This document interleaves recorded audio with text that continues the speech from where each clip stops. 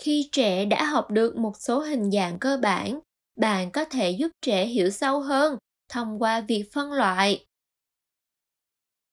Bạn có thể đưa cho trẻ một vài hình dạng cắt ra từ giấy. Chú ý là mỗi dạng nên có vài mẫu.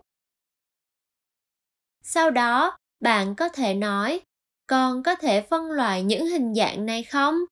để xem con có thể đặt tất cả hình tròn vào một nhóm tất cả hình vuông vào một nhóm khác và tất cả hình tam giác vào một nhóm khác không nhé.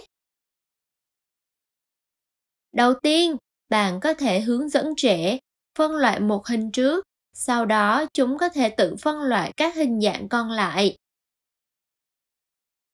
Học cách phân loại các hình dạng khác nhau sẽ giúp trẻ cải thiện kỹ năng tư duy logic